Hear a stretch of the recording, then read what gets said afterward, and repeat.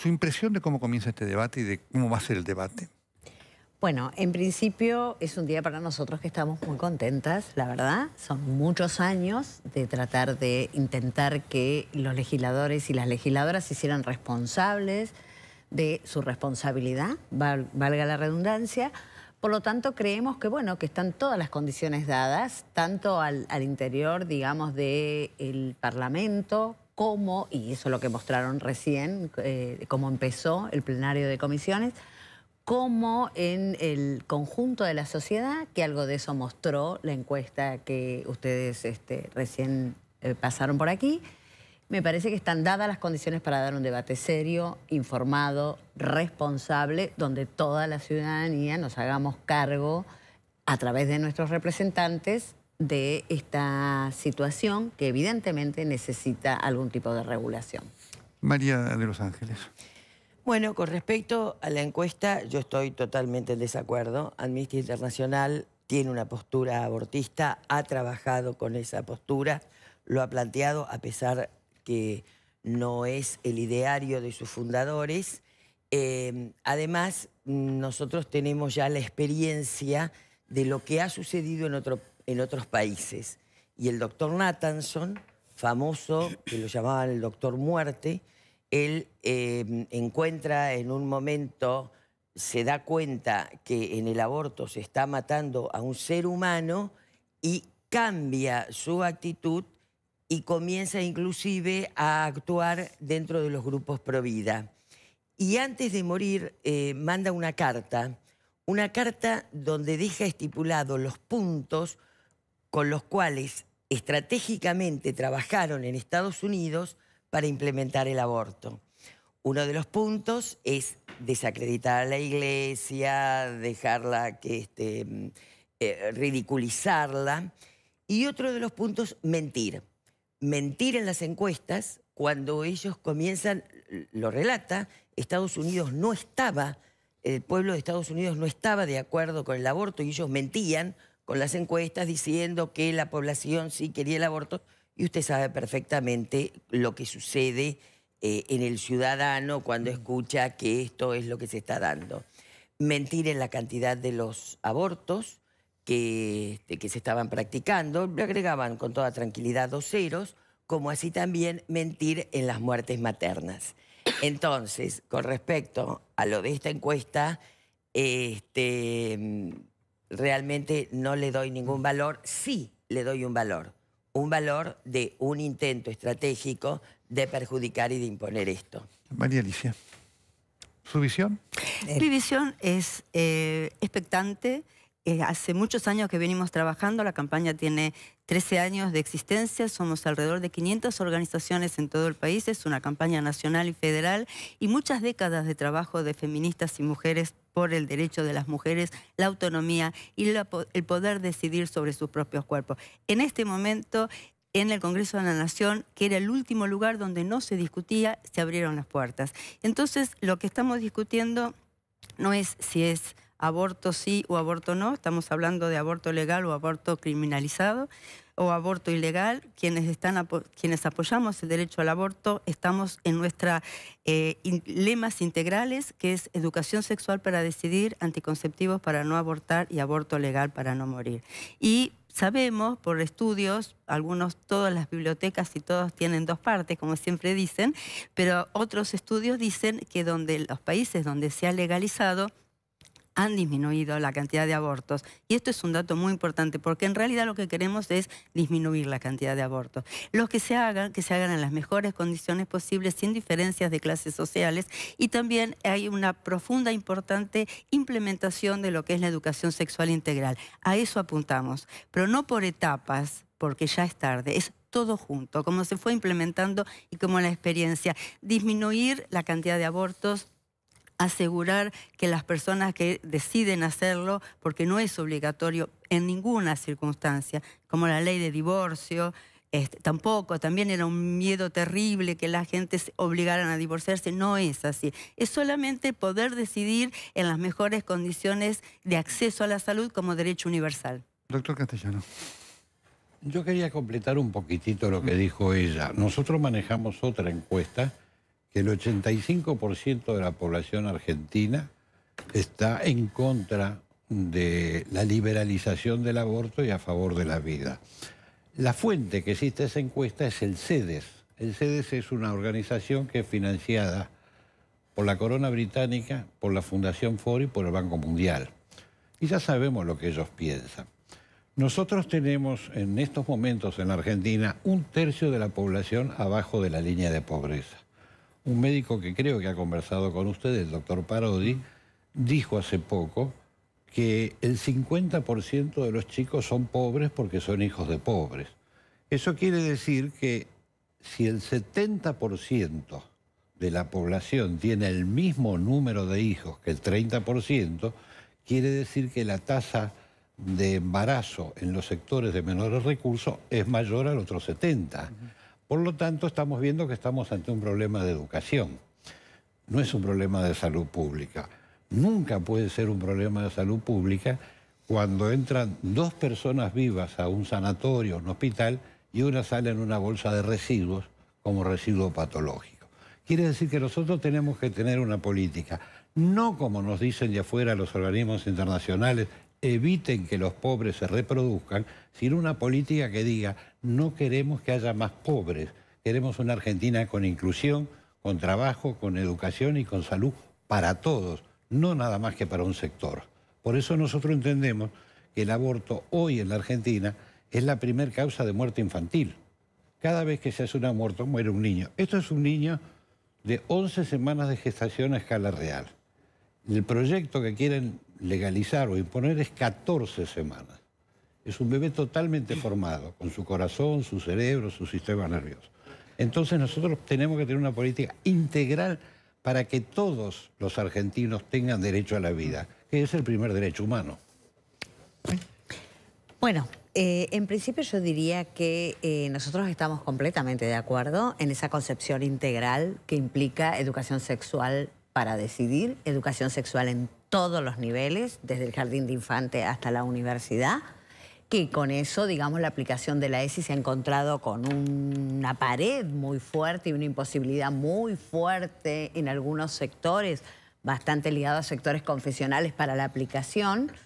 Entendemos también, por supuesto, y para eso hemos luchado durante muchos años, hoy justo lo, conversábamos en una, en una conferencia en la Universidad Torcuato de Itela, eh, por una ley de salud sexual y procreación responsable. Nosotros hemos peleado muchísimo por la distribución de anticonceptivos, por la información, por la atención del parto, el porperio, el embarazo, con todo tipo de informaciones sobre enfermedades de transmisión sexual y demás. Y hemos peleado mucho para que eso efectivamente fuera así y que se dieran los suministros en el conjunto del país. Y como consideramos que la educación sexual integral es un aspecto y los anticonceptivos y la información es otro aspecto, pero también sabemos, y eso hay un montón de estudios médicos que lo certifican, que los anticonceptivos no son 100% efectivos, sino que puede haber una situación en la cual aparezca un embarazo no buscado, no esperado, no deseado. Para ello queremos el aborto legal. El aborto legal, sí, a 14 semanas, que fue una decisión tomada de con un trabajo justamente con especialistas que vieron, que vieron toda la legislación comparada y que además trabajaron con investigaciones científicas que dicen algo un poco distinto, me parece, a lo que usted está planteando. A mí me gustaría que tuvieran los que están estudiando este tema la suficiente idoneidad intelectual de darse cuenta que con salud reproductiva, en vez de ir para adelante, fuimos para atrás. Se aplicó y fue gravísimo. Eh, yo estoy eh, en el comité de bioética de un hospital público, no importa cuál, y realmente vemos que lo que falta no es sencillamente educación sexual, lo que falta es educación una educación integral. Y me voy a salir un poquito del tema porque lo incoaron ahora, aunque no sea lo que corresponde. Dicen que con el divorcio no pasó nada. Y lo repetía muchas veces la Presidente, cuando decía, vieron, este el divorcio, no pasó nada, no pasó nada. Sí, señores, pasó. La destrucción social que se dio a partir del divorcio fue muy grande. El dolor de muchos chicos de familias desunidas fue muy grande. Entonces, decir que acá no pasó nada es ponernos una bendita y decir vamos para adelante, está bien, vamos para adelante. Pero decir que no pasó nada, por lo menos no es de idoneidad intelectual. Ha sucedido un cambio social en nuestra querida Argentina. Decir que con educación sexual reproductiva hubo un avance es también engañar cómo son las cosas. Realmente no es así. Está en este momento la reunión del Banco Mundial y afortunadamente con esto de que uno está en distintos lugares, conozco a varias personas que están en esta reunión del Banco Mundial y que son de distintos países, con una postura distinta, no, no es una postura de la Red Federal de Familias. Y les pregunté, ¿en tu país está el aborto? Sí, está el aborto. ¿Qué sucedió en tu país a mm, partir que estuvo el aborto? Bueno, el primer año bajaron las muertes y los abortos porque el número que antes daban está inflado del número cero más que le agregaban. Pero en los años sucesivos han aumentado los abortos ilegales y han aumentado las muertes maternas.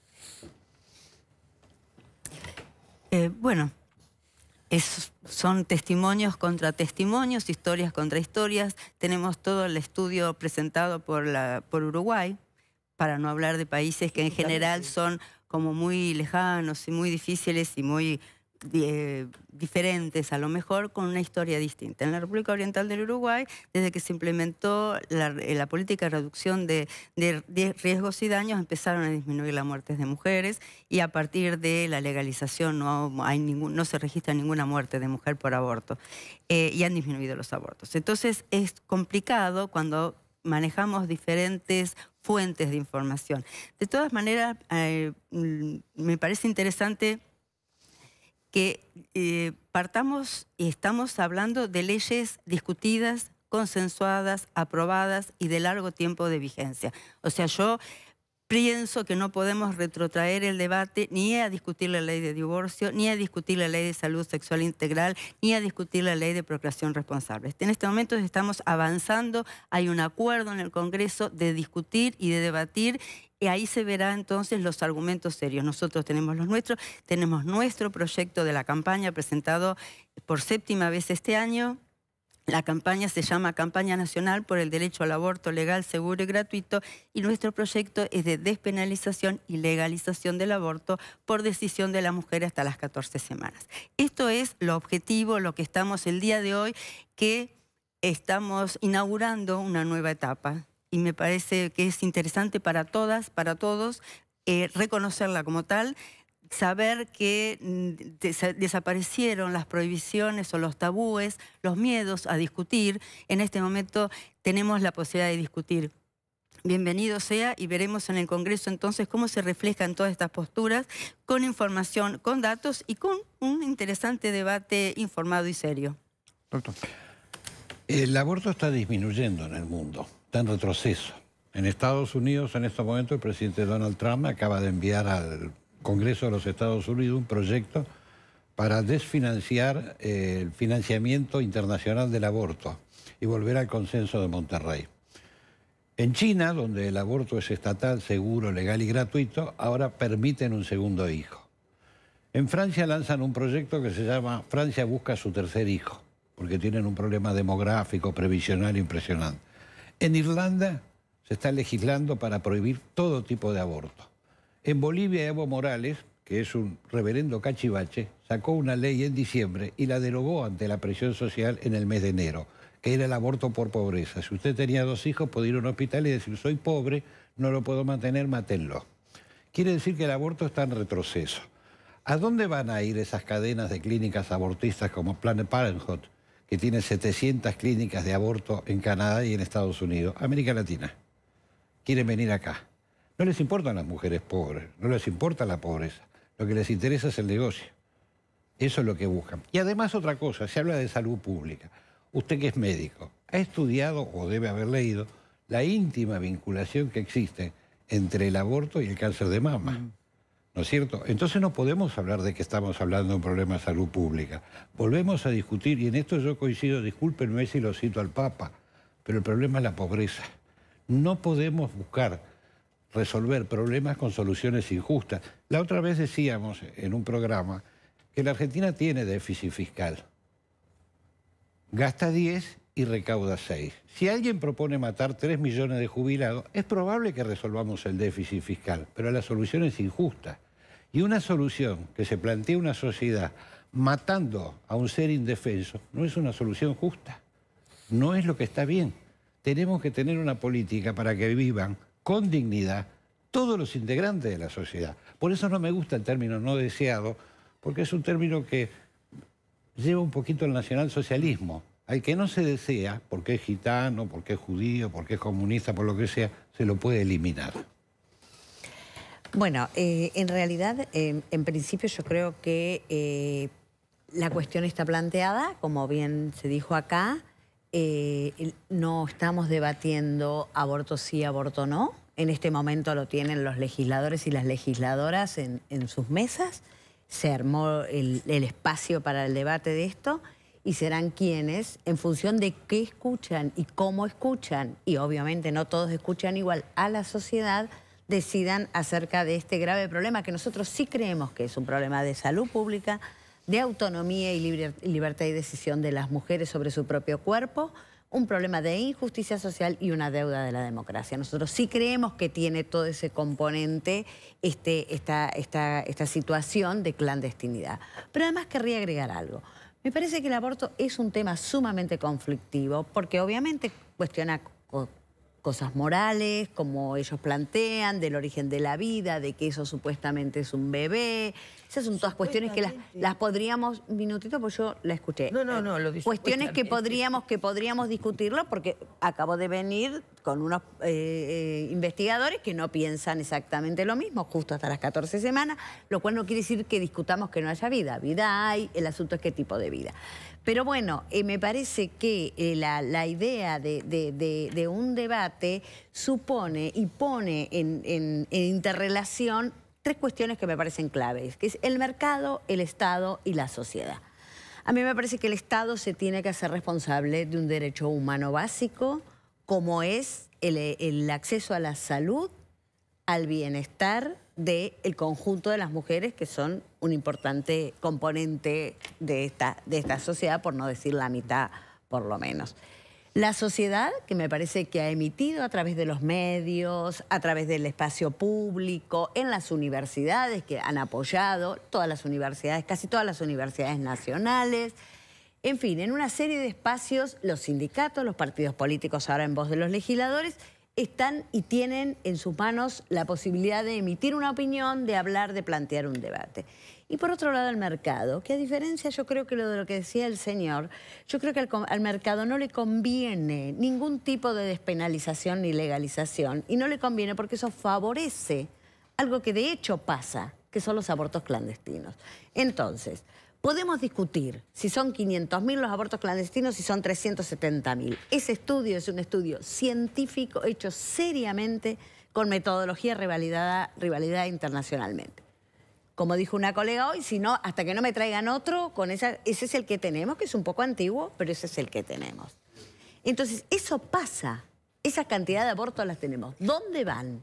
Van al sistema clandestino. Entonces, ahí yo creo que hay una lógica del mercado, tanto del, del, mercado del aborto, digamos, a través de intervenciones, como también todo el gran negociado con el aborto farmacológico. Van a seguir siendo el clandestino. El domingo. Domingo, 25 de marzo, tenemos la marcha del Día del Niño por Nacer. Nos juntamos a las 3 de la tarde en Plaza Italia, bajamos a Sarmiento, por Sarmiento y luego por Libertador y frente a la Facultad de Derecho, ahí este, nos reunimos. 70 ciudades. Estamos en 70 ciudades. 70 ciudades del país. En capital, ese es el recorrido. Eh, decimos que hablamos de leyes, hablamos de vidas, pero justamente para proteger la vida, la Red Federal de Familias hizo este proyecto de ley integral de los derechos humanos de la mujer embarazada mm. y los niños y las niñas por nacer que es el D324 del 18, que también lo venimos presentando desde el 2010, cada dos años caduca y lo volvemos a presentar con las reformulaciones. Y entonces en esa marcha del domingo nos vamos a preguntar, como se pregunta este niño, Argentina, ¿qué estás haciendo conmigo? Muy bien. Eh, les agradecemos a todos eh, la participación, el nivel de respeto, eh, que me parece que tiene que ver con lo que la sociedad va a estar esperando de este debate trascendente e importante que se va a dar en el Congreso. Y que, por supuesto, eh, vamos nosotros a seguir acá con mucha atención y replicar de esta forma en los meses que dure. Muchas gracias a todos. No, muchas gracias Muchas a ustedes. gracias por el espacio, Gracias. doctor.